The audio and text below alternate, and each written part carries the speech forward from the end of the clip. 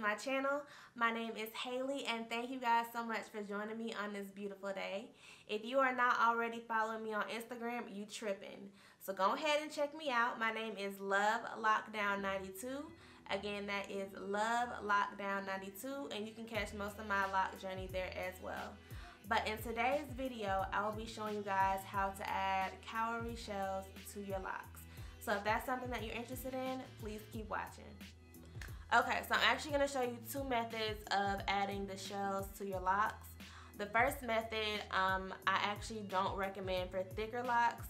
I recommend them for locs either my size or smaller because you're actually taking your loc and you're sticking it through the hole of the shell. So it's not gonna work um, on thicker locs at all. So I actually did one just for practice to make sure I didn't look crazy on camera. But what you're gonna need is a bobby pin. You're going to need a rubber band. And then you're going to need your shell.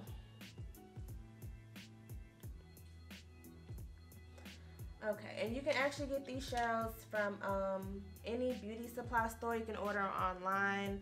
Um, even Walmart might carry them. But what you're gonna do is you're gonna find the tip of a loc.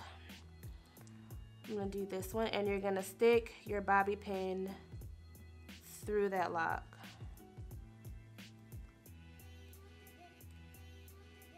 Like so you can see.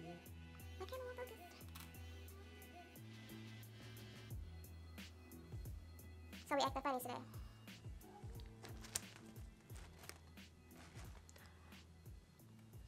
Alright, so what you're to do is you're to take your bobby pin and you're to stick it through a small point of your loc. Okay, see it's in there. Then you're to grab your shell Take your bobby pin and put it through the back of the shell, like so. And now you're gonna pull your loc through that hole. Like so. Then you can go ahead and take that bobby pin out and just pull the rest of your loc through. So it looks like that. And you can adjust it. And now what you're gonna do is you're gonna take your rubber band and just wrap it around.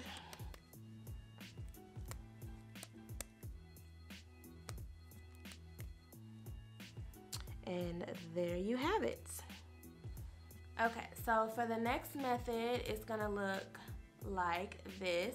You see how it's actually on your loc. So what you're gonna do is you're gonna take your rubber band and you're gonna actually put it through the back of your shell.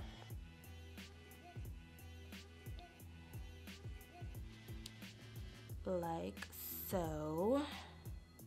Okay, so like that. And then what you're gonna do is you're just gonna wrap it around and join the ends like so.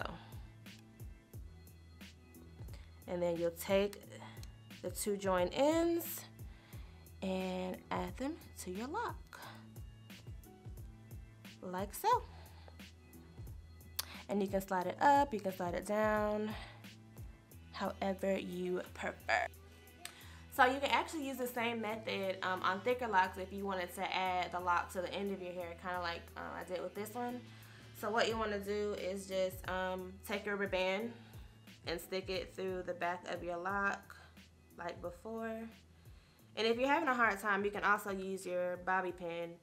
Just kind of loop it through stick it through and then pull it. Oops, not all the way through. Let's try that again. And then pull it until you see your rubber band on the other end.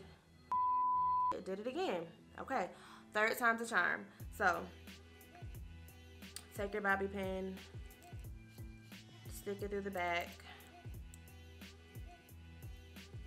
and then pull it through, but don't pull it all the way through, just enough to where your rubber band's peeking on the other side. Oh. Do this when I'm not trying to hold it up. Five hours later. Okay, like that. And then just pull your bobby pin out. Bam. So you have that. And just loop one end through the other to make a knot. Like that. And then just add that to the end of your loc.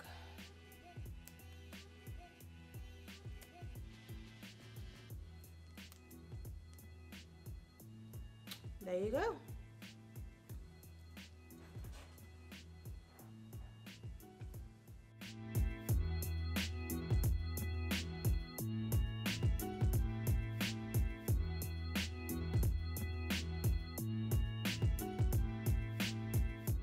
So if you like this video, don't forget to give me a thumbs up. Go ahead and hit that subscribe button and share with your friends.